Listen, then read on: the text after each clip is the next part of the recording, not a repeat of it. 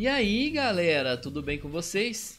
Por aqui sou eu, o Biratan Nascimento, e hoje a gente vai dar continuidade no capítulo 4 do curso de redes Networking Essentials da Cisco. Vamos lá?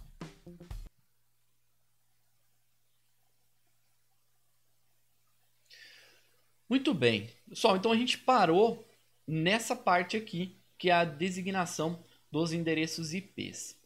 Para quem usa o Windows, provavelmente vocês devam conhecer essa tela, que é a tela de configuração manual de endereço.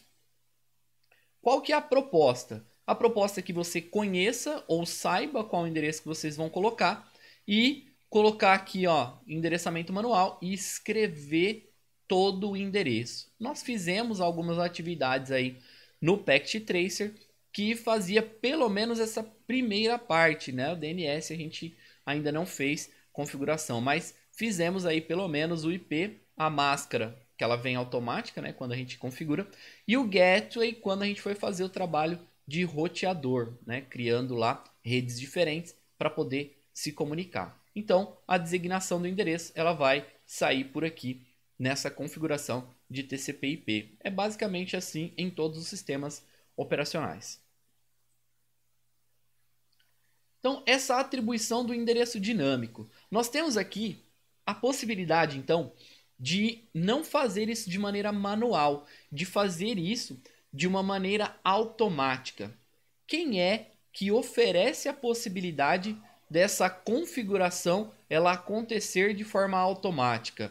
Quem faz isso é o servidor DHCP. Então, esse serviço, né, esse servidor, esse é, sistema que faz a atribuição dinâmica desses IPs, ele está na rede especificamente para avisar, para direcionar um número IP, IP para aquele equipamento, para que ele funcione. Tá? É, o que, que acontece basicamente? Quando um dispositivo ele acessa, ele entra numa rede, a primeira coisa que ele faz é dizer que está na rede. Ele dá um grito lá na rede falando: Ó, oh, estou aqui. E aí a gente tem o servidor DHCP que está ouvindo essa rede o tempo todo e verifica um novo dispositivo que ainda não tem endereço. E aí, se ele tiver ali dentro das características do servidor DHCP, o DHCP manda para ele um endereço IP para que ele possa sim compartilhar ali para ele fazer parte daquela rede, certo? Existem características, a gente pode bloquear equipamentos, a gente pode fazer uma série de configurações, mas não é o caso agora. Simplesmente, servidor DHCP, ele percebe que tem um dispositivo novo, o dispositivo solicita um IP, o DHCP envia para ele e faz essa configuração aqui automática. Qual a origem, então, dos endereços DHCP? Então nós temos aqui diversas, diversos, diversas redes, né, todas interligadas. Então o ISP aqui é o seu provedor de serviço de internet. Então tem vários ISPs aqui, existem servidores de DHCP por ISP, você tem aqui o teu roteador, né, que é aí um, um, também um servidor DHCP. Então nós temos diversas redes aqui. Basicamente o que a gente precisa entender que quando você utiliza um serviço, esses serviços eles dependem de uma determinada rede, eles estão configurados em uma determinada rede. Então, para que você possa acessar, para que você possa fazer parte daquela rede, esse serviço precisa te colocar na rede a qual ele faz parte. Então, o serviço DHCP ele vai enviar esse endereço de maneira automática para os seus equipamentos, para que esses equipamentos eles tenham aí uma possibilidade de navegação. Vou dar um exemplo é, mais, mais real aí no que vocês têm em casa. Toda vez que vocês têm, para quem tem um modem, para quem trabalha com Vivo ou para quem tem uma UNU, para quem trabalha com fibra ótica ou para quem tem um equipamento via rádio, a ponta da sua rede ela vai sim ter um IP público. E esse IP público, ele é atribuído dentro da faixa de IP do seu provedor. Quando você desliga o equipamento, esse IP ele desaparece, ele some, ou melhor, ele fica liberado para que outro cliente utilize aquele endereço IP. Quando você religa o seu equipamento, aquele endereço, então, ele é atribuído novamente para o seu equipamento, ou um outro endereço daquela mesma rede, ele é atribuído para que você possa voltar a navegar, para que você possa ter acesso aos serviços daquele provedor. Em algum, alguns casos específicos, empresas ou equipamentos que necessitam de um IP sempre igual, é fixado dentro do servidor DHCP que aquele equipamento ele precisa ter sempre aquele IP. Como que ele identifica aquele equipamento? Com uma, um endereço que a gente já viu lá atrás, o endereço MAC. Então lá no servidor DHCP, ele tem fixado que para esse endereço MAC, você precisa dar esse IP. Então mesmo que você desligue e ligue novamente seu equipamento, ele sempre vai é, voltar com o mesmo IP, com o IP que estava lá. Se você não tem essa configuração, qualquer IP que o DHCP tiver livre, ele te manda e você volta a navegar naquela rede, a fazer parte daquela rede. Como que funciona então o servidor DHCP? Ele faz essa essa negociação de quatro etapas, onde o cliente solicita, o DHCP verifica, o cliente retorna falando que é ele ou que ele atende aos requisitos, e aí o DHCP envia para ele uma, um endereço, um número IP para ele é, fazer parte daquela rede. Então, basicamente, são essas quatro etapas. Aqui tem um, um exemplo, né, um, um, esquema de configuração de servidor DHCP. Isso aqui é um, é um router da Cisco, mas vocês podem encontrar coisas semelhantes na própria casa de vocês, dentro do seu access point ou do seu roteador wireless da ONU, caso vocês tenham acesso, ou dos equipamentos de rede que vocês têm aí. Lembrando que se você tem um equipamento Wi-Fi na sua casa e você nunca configurou e você liga o seu notebook ou seu celular e ele acessa a rede, é porque houve uma negociação do seu dispositivo com aquele centralizador, seja ele um access point ou um roteador wireless, e ele disponibilizou um IP para você naquela rede e aí você começa a acessar a internet, tá? Então é assim que funciona dentro da casa da maioria das pessoas hoje que tem um serviço, né, que tem aí um equipamento de rede wireless. Quando você faz isso no seu celular também, que você ativa o seu 3G, é o mesmo processo. Lá na operadora vai ter um servidor que vai liberar um endereço IP para você e aí você passa a fazer parte daquela rede. Beleza? É comum aí em todos os equipamentos. Aqui tem uma atividade de Packet Tracer que a gente vai configurar um servidor DHCP, tá? Na verdade, um roteador que tem um serviço DHCP. Beleza? Isso aí a gente vai fazer em aula também.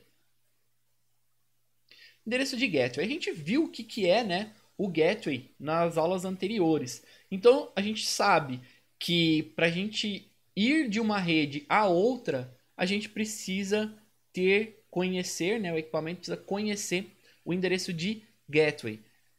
Quando a gente vai fazer um acesso à internet, é a mesma coisa.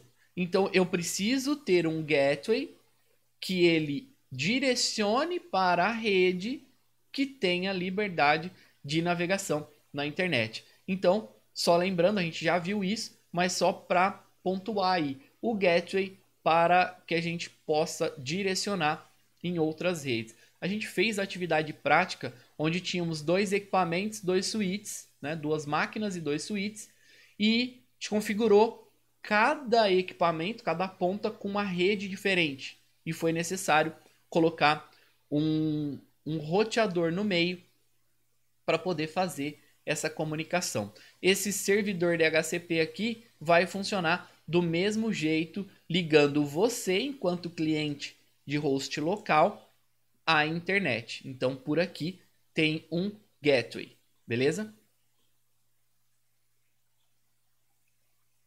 Aqui é, é para identificação de quem está na rede interna. Então, ele vai fazer aqui a configuração para identificar. Eu tenho todos os meus clientes aqui e esses clientes eles têm um IP privado né, da rede interna. Um 2, um 3 e um 4.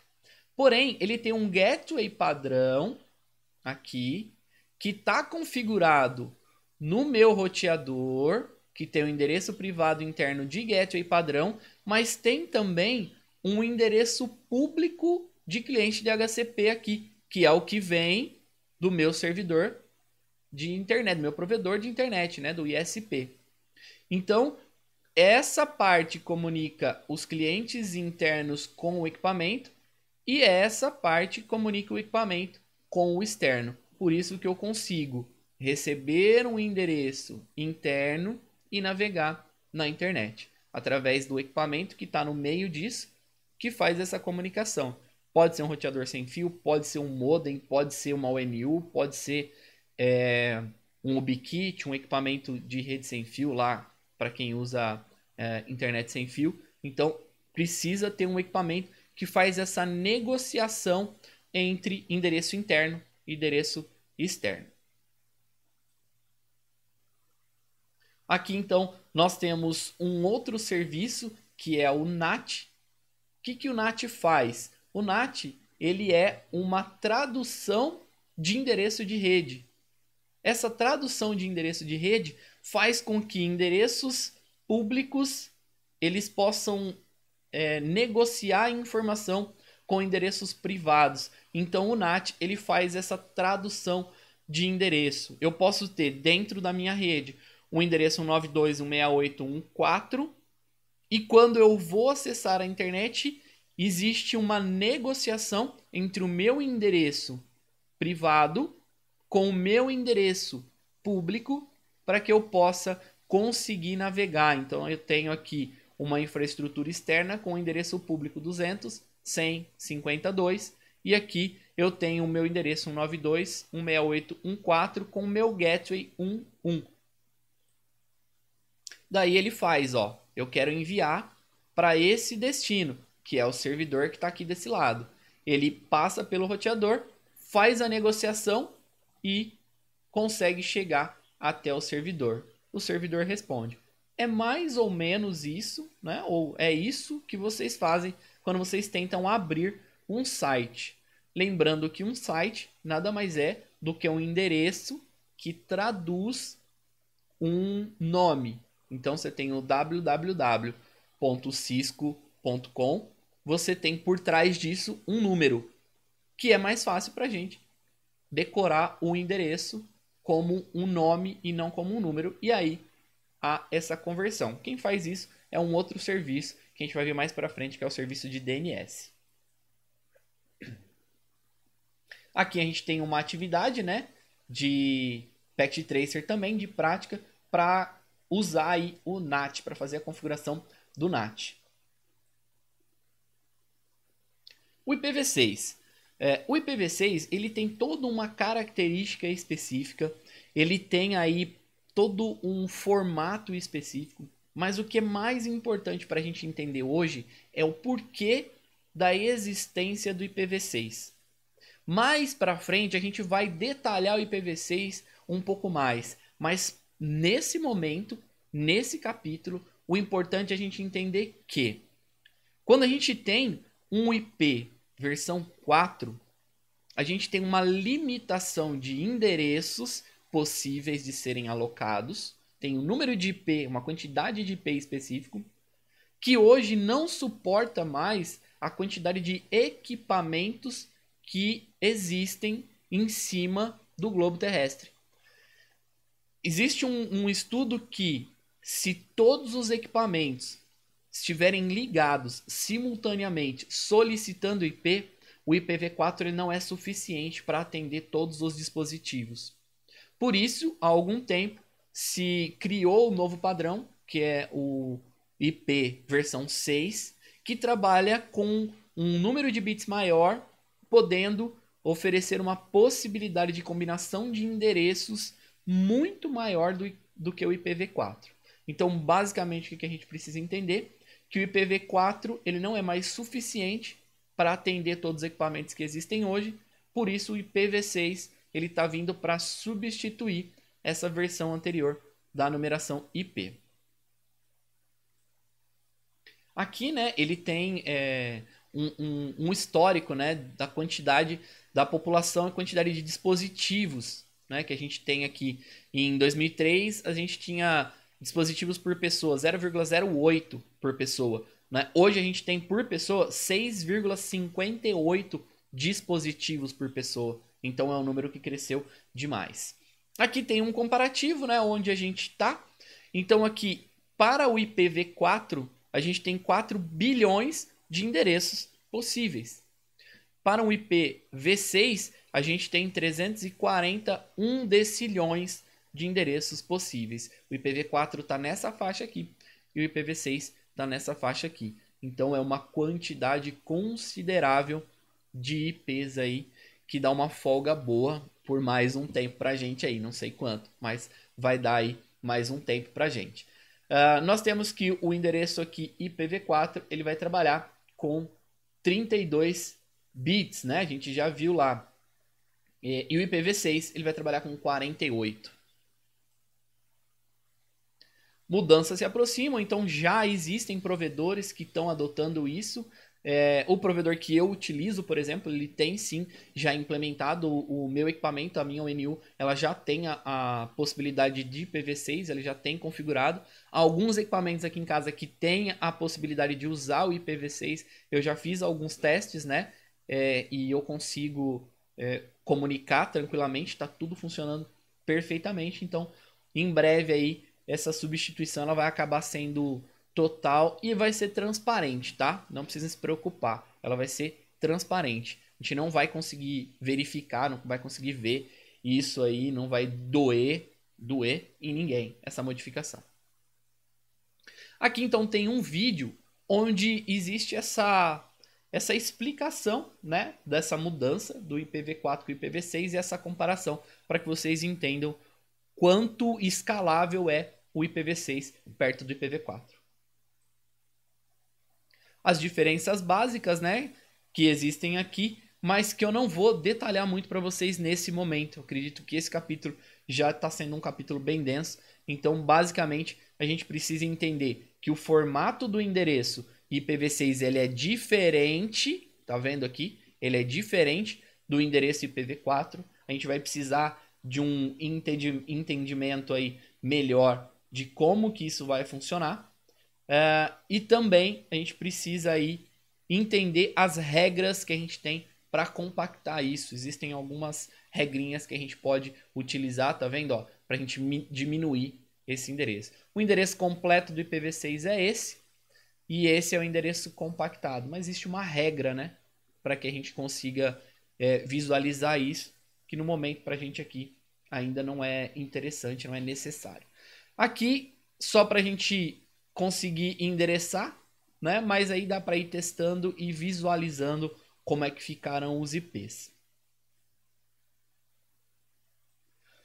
Então a gente chegou aí no final do capítulo 4. Pessoal, então esse capítulo aqui foi um capítulo é, que foi bem denso por conta da importância que o, que o IP tem para a rede, né? Mas eu acredito que ele acaba sendo um pouco mais simples do que o capítulo 3, porque tem muita coisa prática, a gente vai conseguir enxergar muita coisa. Então, nesse capítulo, a gente discutiu sobre o IPv4, sobre máscaras, sobre hosts, falamos sobre é, os tipos, as diferenças né, de classes de rede, falamos sobre máscaras, falamos sobre transmissão, unicast, broadcast, multicast, um pouquinho sobre o servidor DHCP, falamos sobre a tradução de endereço de rede, que é o NAT, um pouco sobre o IPv6 que vai aumentar. É, só uma correção, eu falei 48, né? Na verdade ele aumenta para 128 bits, tá?